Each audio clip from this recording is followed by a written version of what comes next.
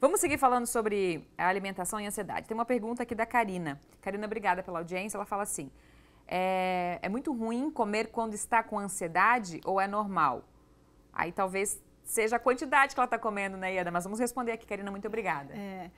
É, na verdade é assim, ó, você come mais porque você tá, está ansioso, né? Isso é muito comum nas pessoas.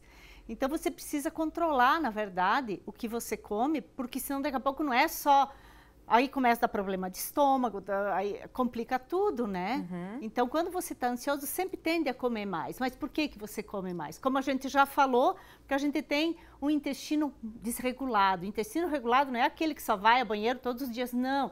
É um que tu mantém um desequilíbrio da microbiota intestinal. Você deixa um crescimento maior de bactérias ruins prevalecer no teu intestino com alimentação desequilibrada. Uhum. Aí a ansiedade vem de é a primeira coisa que acontece nas pessoas. Aí, ó, comida, né, para suprir Sim. essa ansiedade. Nessas épocas de pandemia, a gente tem ouvido muito, né, as pessoas em casa esperando por tudo isso passar e comendo cada vez mais.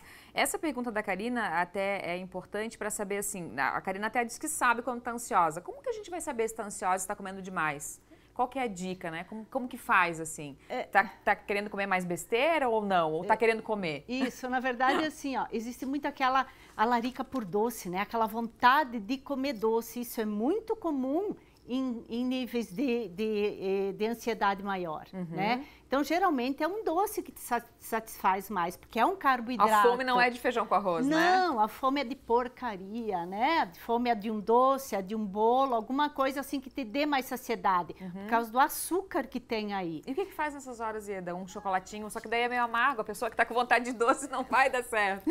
É, o chocolate amargo, muita água, uma fruta substitui muito bem isso, né? Uhum. Uma fruta, manga, banana. A banana é rica em, em triptofano, que é o precursor da serotonina, uhum. né? Então, só tem que controlar a quantidade que come, né? Tu não vai comer 10 bananas de uma vez não, só. Não, claro que eu tô falando por emergência ali, claro. né? A pessoa tá com aquela ansiedade de vontade de claro. doce. Mas aí, só pra gente recapitular e, e, e encerrar aqui o nosso assunto de hoje, é a saúde como um todo, o intestino estar saudável, como a gente está saudável como um todo, né? Isso, o intestino estar saudável, acho que é a primeira coisa, é uma prioridade na vida da gente. Por isso que eu sempre falo, selecionar o que a gente come, saber o que a gente vai colocar para dentro do nosso corpo, isso vai responder, né? Isso tu pode prestar atenção no teu dia a dia. Quando tu começa a comer muita coisa errada, até as pessoas não têm muita noção do que, que é uma comida errada, né? Uhum. Enfim, a gente está aí para ajudar nisso.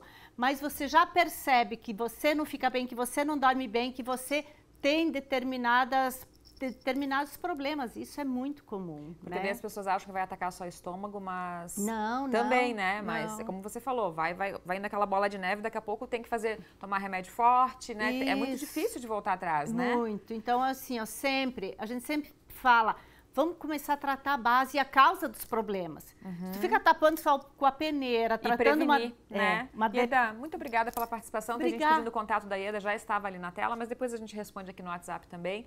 Até uma próxima, então, para a gente falar sempre de nutrição e da nossa saúde, né? Obrigada e até mais. Até, excelente semana.